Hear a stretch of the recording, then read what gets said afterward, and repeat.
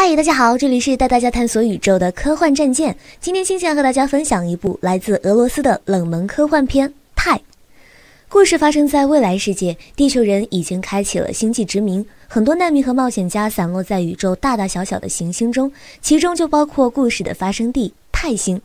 泰星的生存环境很恶劣，但是人类还是在那里建立了一座城市。这座城市由一个 AI 总统掌控。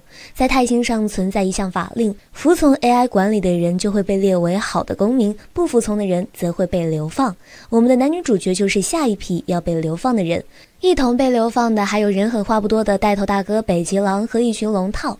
流放之前，城市管理者给了他们能够维持短暂生存的物资。由于北极狼有过流放经验，大家决定跟着这位带头大哥前往传说中的幸福岛。但是男主角欧文却决定单干。女主角安娜看着欧文面善，决定和欧文一起出发。之前，欧文提议用他和安娜的物资换来空的铁箱子，接着两人便拖着沉重的铁箱上路了。还没走出多久，欧文就遭到来自城市的枪击。他和安娜匍匐前进，总算到达了武器射击不到的磁力区域。另一边，从 AI 和手下将军的谈话中，我们知道，正是 AI 希望能暗中除掉欧文。欧文身上似乎藏着什么秘密。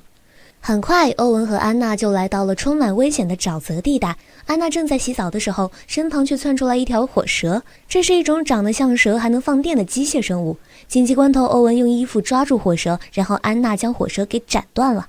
欧文将断掉的火蛇捡起来，做成了一条闪电鞭。就在两人整修的关头，北极狼和手下的龙套赶了过来。他出尔反尔，想要收回铁箱。欧文用闪电鞭吓退了这群人，两人继续前行。走了没多久，欧文再次发现从地下窜出来的火蛇，两人就地卧倒。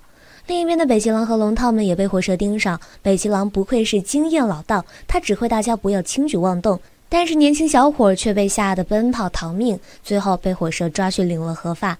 得到食物的火蛇暂时安分下来，大家继续赶路。另一边，城市里总统又给手下下达了新的命令，他让士兵停止追杀欧文，还让他去沼泽地把欧文安全的带回城市。之前还要杀掉欧文，现在却要救他，这个 AI 总统是出了什么故障吗？与此同时，欧文和安娜这边又遇到了新的危机。沼泽地里，一大群潮水般的机械虫蜂拥而至。这时候，欧文先前换来的铁箱终于派上了用场。他和安娜躲进铁箱中，避过了虫巢。欧文对于沼泽地的熟悉引起了安娜的好奇，于是他追问起欧文的身份。欧文这才说出了真相，原来他是泰星的总统顾问，也就是 AI 系统的总工程师。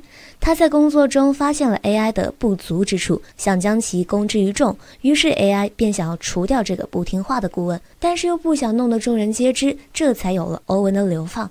但是让 AI 没想到的是，欧文被流放前偷偷在 AI 系统里植入了病毒，而他是唯一能解除病毒的人。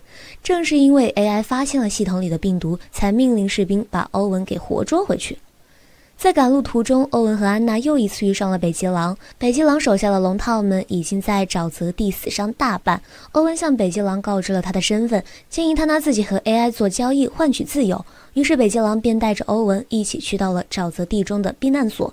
这时士兵也从城里赶了过来，他杀掉北极狼，还劫持了安娜。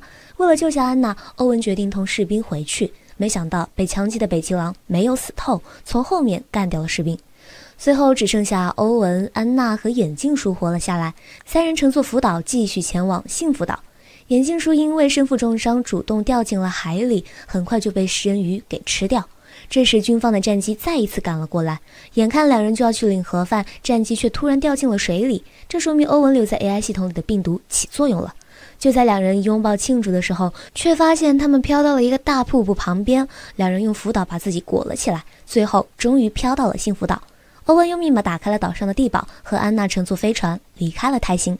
影片最后是一个很讽刺的结尾：散落在宇宙的自由联邦解放了泰星，AI 系统被摧毁。但是十年后，一个更加残酷的 AI 系统却在泰星上被重新建立起来，完美的诠释了什么叫做“狗改不了吃屎”。